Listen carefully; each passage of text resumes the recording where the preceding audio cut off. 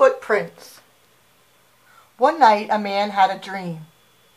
He dreamt he was walking along the beach with the Lord. Across the sky flashed scenes from his life.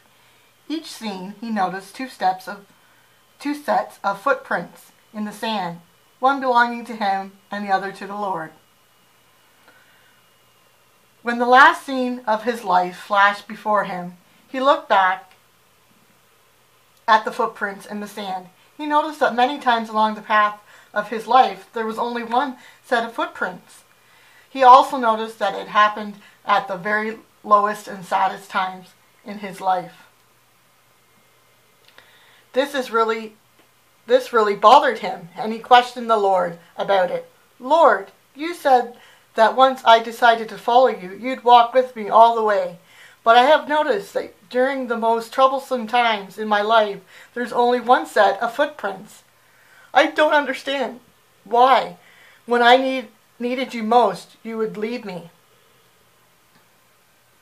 The Lord replied, My precious, precious child, I love you and would never leave you during your times of trial and suffering. When you see only one set of footprints, it was then that I carried you and this is the poem Footprints. One of my favorites.